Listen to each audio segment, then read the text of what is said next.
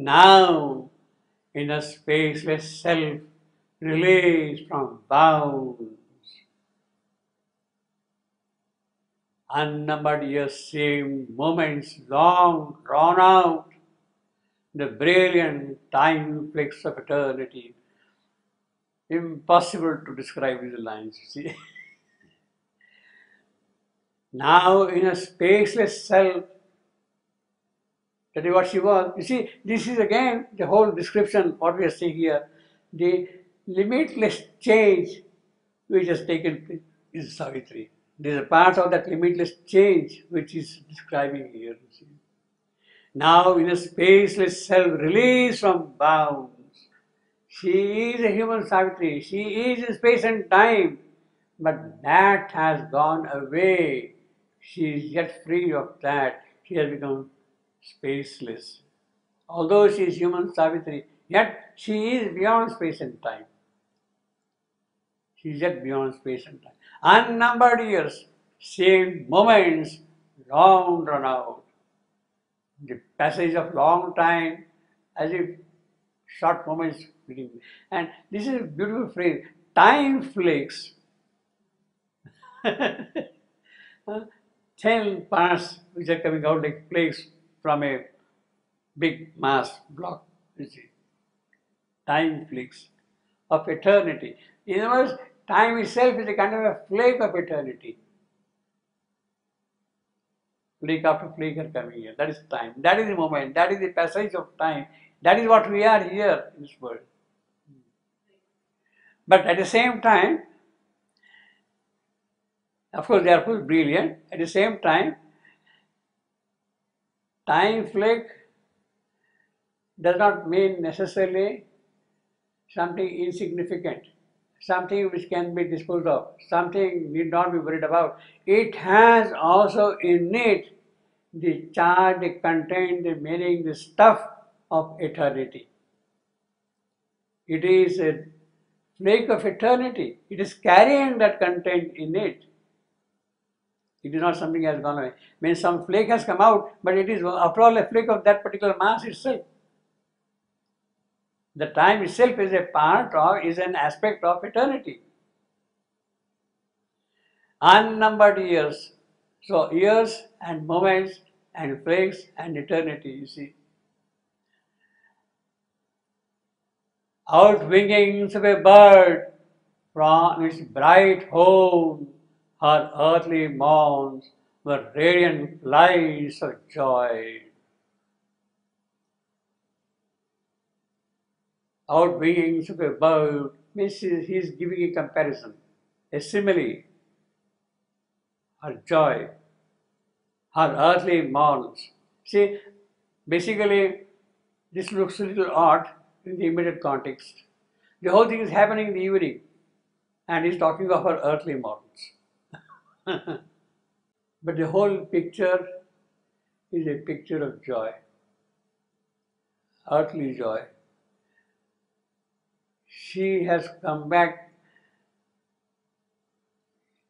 into space and time, yet it is that aspect of eternity which is always present with her.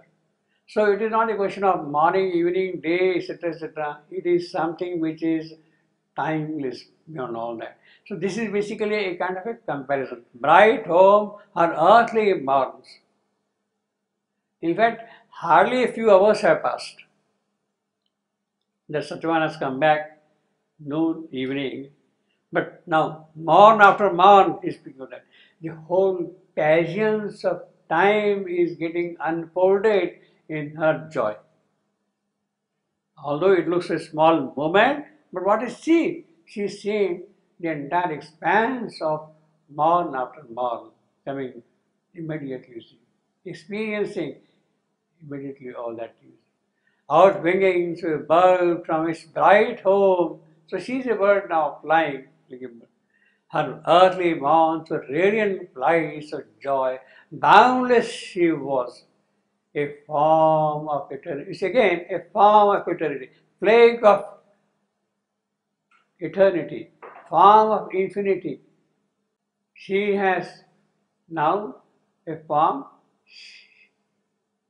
She has now a name also, Savitri, but Nama Rupa of what? Of the eternal and the infinite.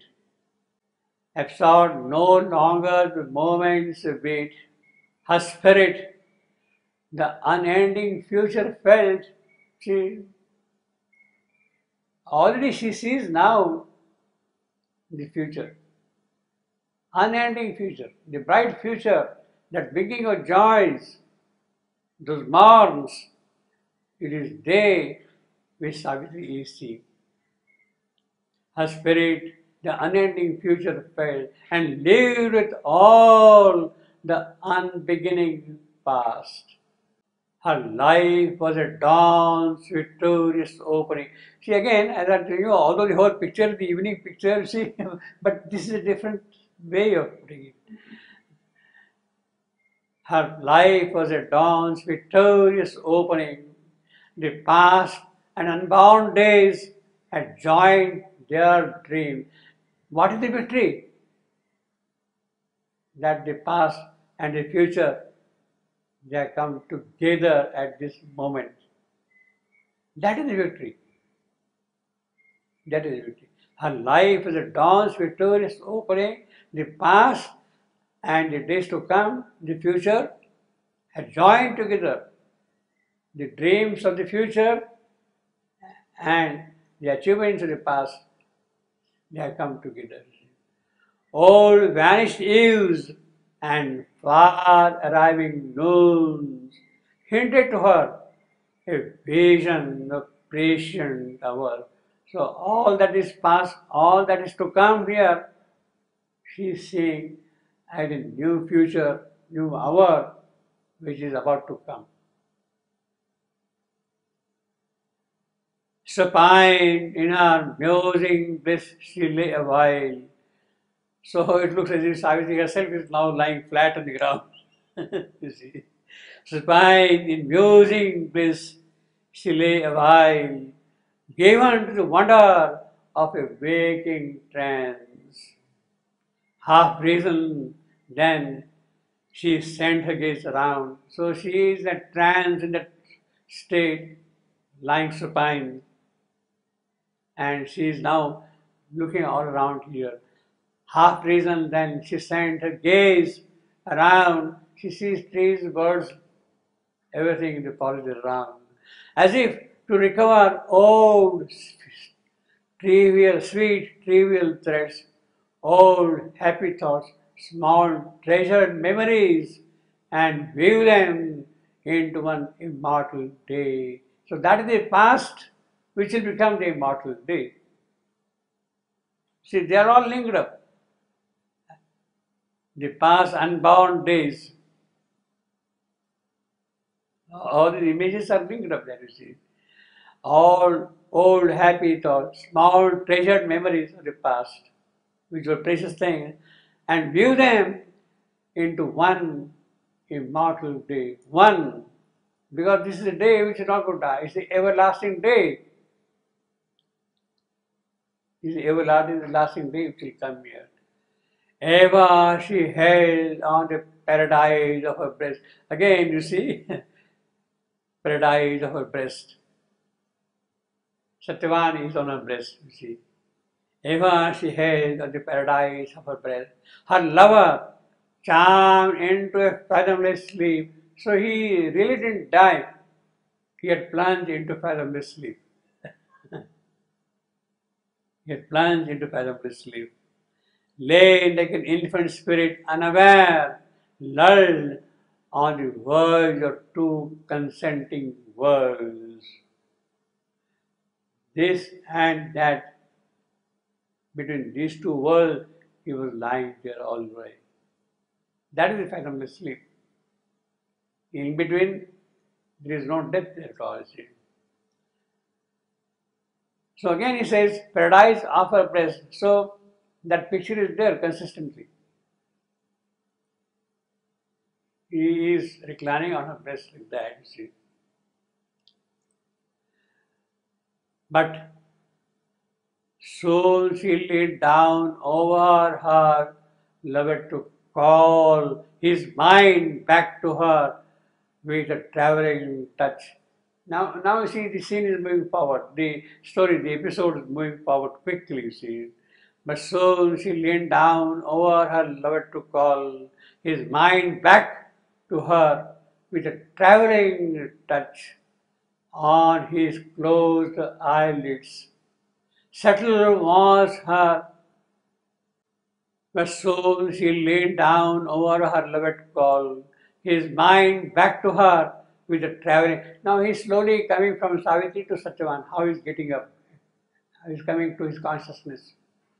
On his closed eyelids, settled was her still look, a strong delight, not yearning now, but large with limitless joy of sovereign last content, pure, passionate with the passion of the gods.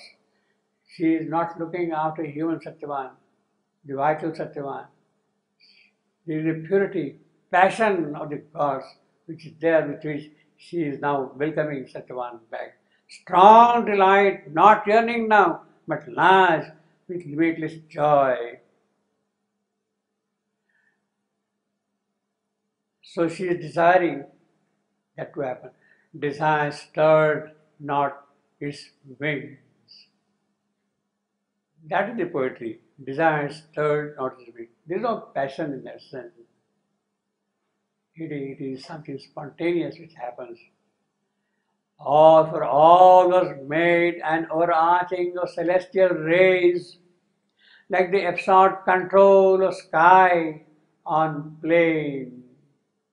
Heavens leaning down to embrace from all sides earth, a quiet rapture, a vast security. That is how it's living around here. Then,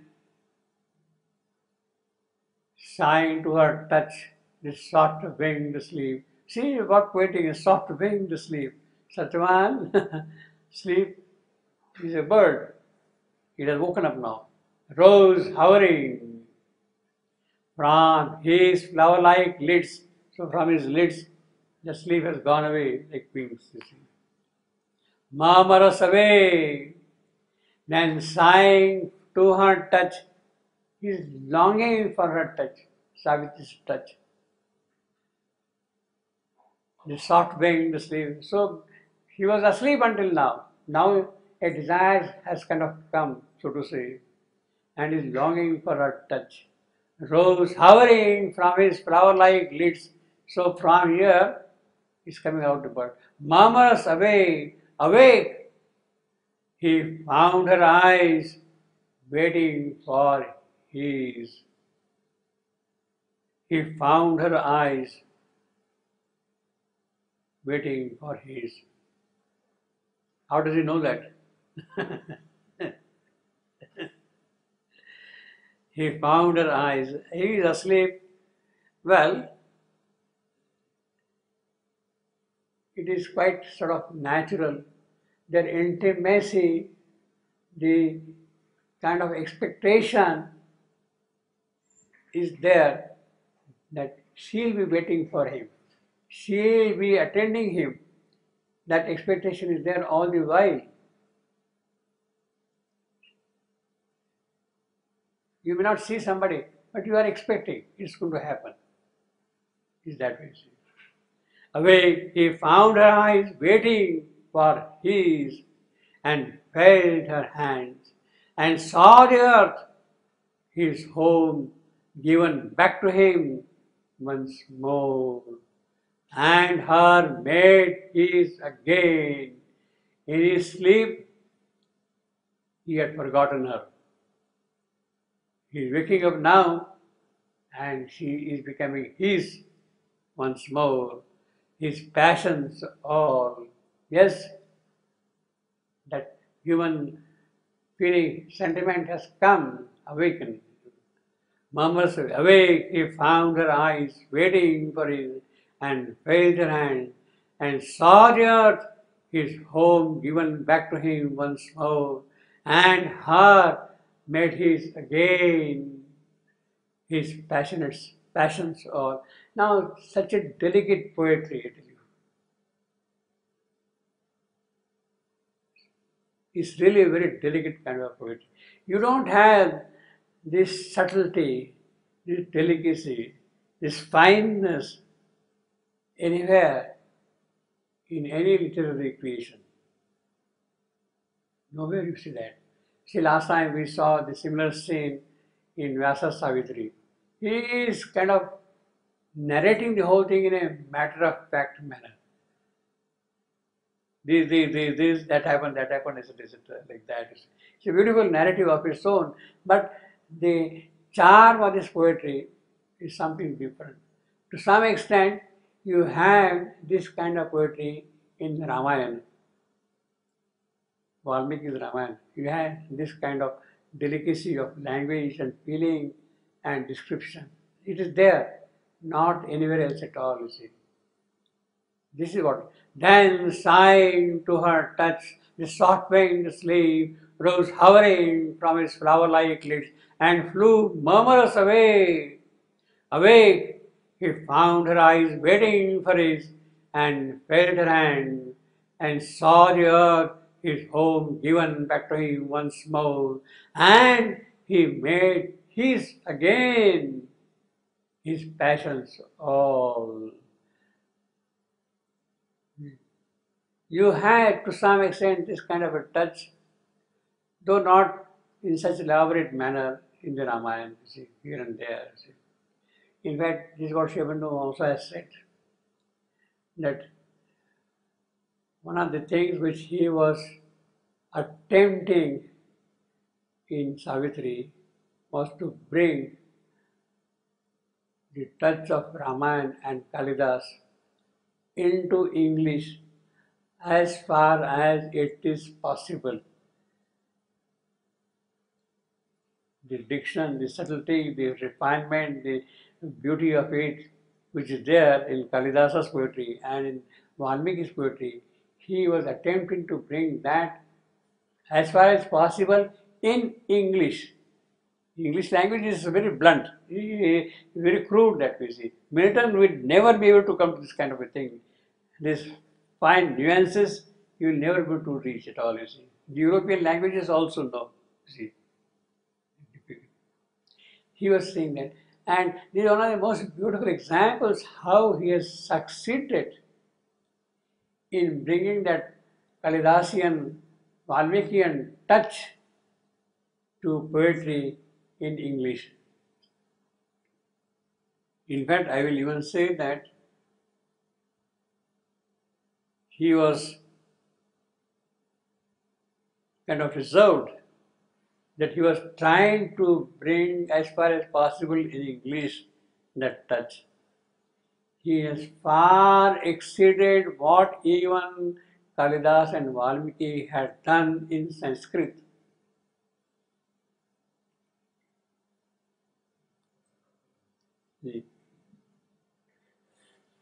what they had done in Sanskrit is far exceeded even that, you see. This is this is that. Then sighing to enter the short paying the sleeve, short paying sleeve. You see, what a beautiful place.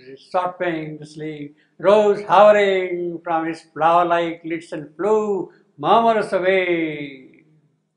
Awake, he found her eyes waiting for him and felt her hand and saw the earth, his home, given back to him once more, and made her, and her made his again, his passions all. This is something not there, you see, anywhere. You see. He has definitely exceeded what is there even in Sanskrit of Vyasa, sorry, of Valmiki and Kalidas.